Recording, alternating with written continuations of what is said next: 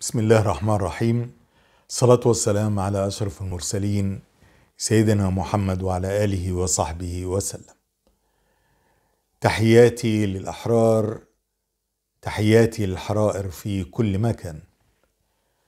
لا يسعني في هذا المقام سوى أني أتوجه بالشكر إلى أصحاب الدعوة الكريمة وذلك الحوار الشعبي الذي قام على الاهتمام به والسعي لفتح هذا الباب كي يلتقي أبناء مصر في كل مكان. آه الإخوة الأفاضل الذين تبنوا هذا المشروع. آه قناة الشرق والإخوة في تكنوقراط مصر و كل الإخوة الأفاضل الذين ينسقون لإنجاح هذا المؤتمر الذي نتمنى له التوفيق. في الحقيقة الحوار الشعبي هي نقطة انطلاق لأبناء الوطن. كي يفتحون الباب واسعا في حوار صادق ليس فيه من المجاملات وعلينا أن نضع النقاط على الأحرف ونناقش كل ما يخدم قضيتنا. فليس هناك نجاح بدون جهد مسبق وعمل مضني كي يتم تحقيق ما نرجوه وما نصبو إليه. وطبعا كل ما نصبو إليه هو عودة إرادة شعبنا لا سيما بعد الانقلاب العسكري الغادر الذي اختطف الوطن. ومع الأسف الأيام أثبتت على مدار سنوات الانقلاب والذين يعني تصدروا المشهد من القيادات الفاسدة إنهم أهدروا المال العام بددوا خيرات بلادنا أغلقوا كل أوجه المنافسة الشريفة كي يستطيع أبناء الوطن إنهم يطوروا من ما بين أيديهم من إمكانيات. فكان هناك إغلاق وسد لأنفاس الشعب المصري. وطبعا في في ظل هذه المنظومة الدكتاتورية الفاسدة تم القضاء على أي أمل في نفوس شعبنا. فهذا الحوار الذي ينبغي علينا أن نفتحه. كيف نعضد من بعضنا البعض؟ كيف أن نترفع عن إنه نهين بعضنا البعض لمجرد إنه آه لبعض الإخوة لديهم رؤى سياسية قد لا تروق للبعض الآخر. فهنا يجب علينا أن نكون آه بحق عندنا آه نية صادقة لأنه ما كان لله دام واتصل وما كان لغير الله انقطع وانفصل. وكل أنا ما ارجوه إنه نناقش بكل حرية وبكل وضوح وفي نفس الوقت علينا أن تكون الأمور واضحة بأن كل من قام بالانقلاب العسكري الإجرامي وكل من تعاون معهم أنا لا أرى إنه لهم مكان بيننا.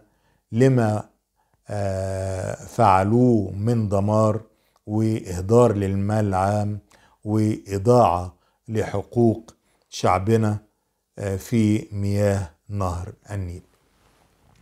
مستقبل مصر سيكون واعد بإذن الله تعالى بدون هذه العصابة الانقلابية التي استولت على السلطة ومن معهم، أما بخصوص الإصلاح السياسي والإصلاح الحقوقي كل أوجه الإصلاح لا يمكن أن تكون في ظل هذه المنظومة الفاسدة.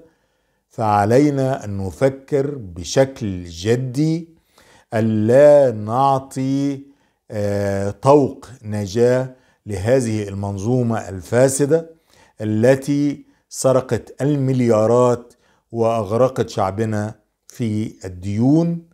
فهؤلاء لا مكان لهم. إذا علينا أن نكون جادين لإسقاط هذه المنظومة الفاسدة وحسابها حسابا عسيرا. آه الإصلاح السياسي هذا إن شاء الله فور آه إسقاط هؤلاء المجرمين على الثورة إنها تحمي إرادتها ولا يمكن أن تغفل كما حدث إبان ثورة 25 يناير. اذا يتم تكوين لجان ثورية بعد إسقاط هذه المنظومة وفي غضون أشهر على الشعب المصري إنه يختار من يمثله تمثيلا حقيقيا في المجالس المحلية وفي المجالس النيابية وفي علينا أن يعني حتى الأجهزة الرقابية يجب إنها تخضع لاختيار الشعب. لا يجوز لحاكم ولا السلطه إنها تختار الأجهزة الرقابية ولا تتسلط على الهيئات القضائية. بل يجب أن يكون هناك اقتراع مباشر لهذه الجهات التي سوف تراقب مع الشعب المصري عبر المجالس النيابية وعبر مراقبة الشعب على كل سلوك تؤديه الحكومة. فليس هناك تحصين على الإطلاق لا لحكومة ولا لرئيس ولا لأي شيء لابد من تفعيل القوانين. إذا الأمر متعلق بالإصلاح السياسي هذا إن شاء الله واضح والأحرار أبناء مصر من الكفاءات موجودين في كل المجالات وفي كل التخصصات. وسؤال بيطرحه الإخوة الأحباء في هذه المبادرة حول الحوار الشعبي هل هناك خلل في الأولويات؟ أنا لا أرى انه شعبنا لديه خلل في الأولويات اطلاقا. شعبنا واعي تماما ويعرف ما هي أولوياته التي في أمس الحاجة إليها. كذلك كل الأحرار الحمد لله إنه إحنا على مدار العشر سنوات الماضية الإخوة على مختلف مشاربهم السياسية والعقائدية والأيديولوجية.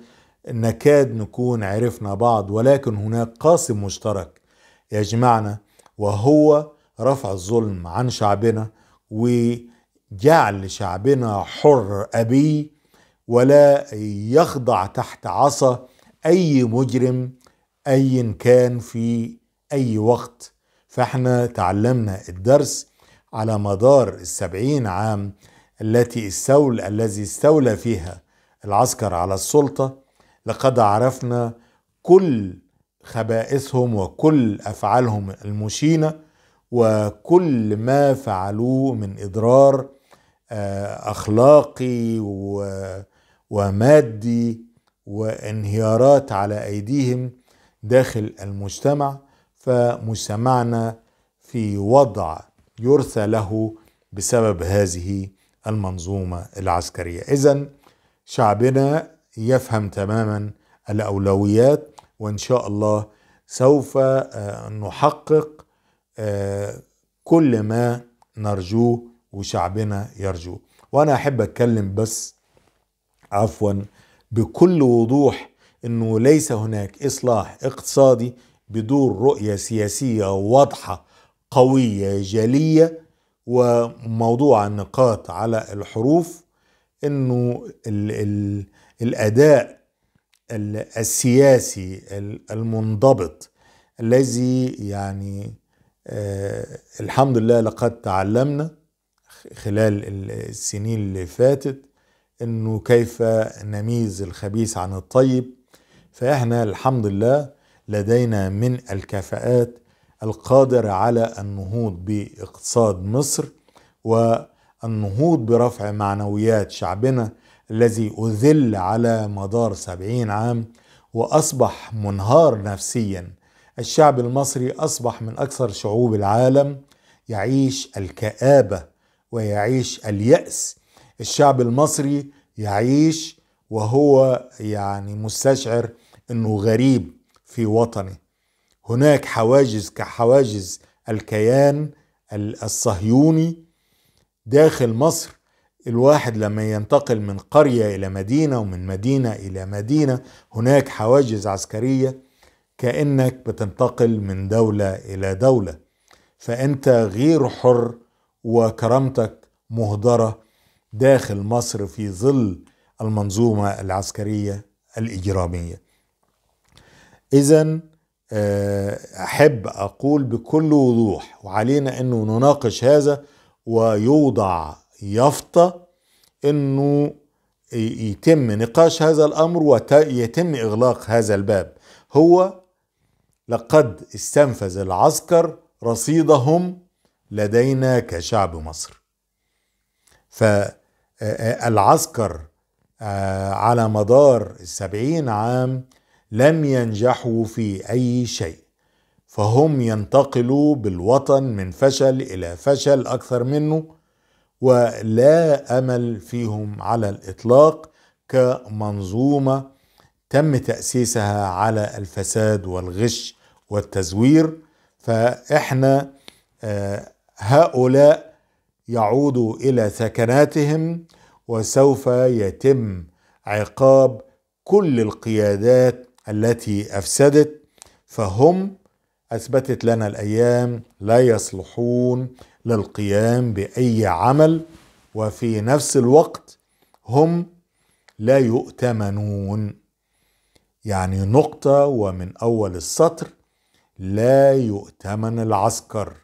هذه يجب أن تكون اليافطة بتاعتنا اللي هي على أساسها سوف يتم يتم إعادة إصلاح منظومة القوات المسلحة وتكون بإرادة الشعب المصري هو الذي يقرر كيف يتم إصلاح هذه المنظومة الفاسدة ولابد أن يكون من القيادة العليا للجيش المصري أو وزير الدفاع يكون عالم مدني مختص بالعلوم العسكرية وليس بالضرورة يكون عامل داخل المؤسسة العسكرية.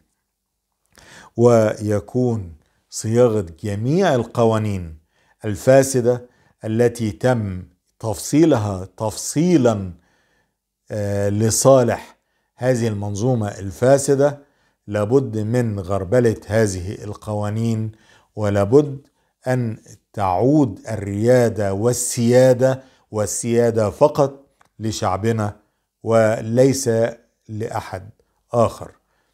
في نهاية حديثي أشكر حضراتكم وأتمنى لكم التوفيق والسداد وأشكر كل الإخوة الذين ساهموا في هذا الحوار الشعبي. وأنا أعذروني لأنه في الحقيقة خرجت من المستشفى بالأمس وأسألكم الدعاء والسلام عليكم ورحمة الله وبركاته.